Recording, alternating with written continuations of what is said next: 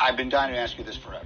Yeah. So for 30 years, my job has been Kobe and it's Michael, and it's Michael and it's LeBron, and it's it's Magic and it's Larry, and it's Russell and it's The, Chamberlain. the, the great debates. All those debates.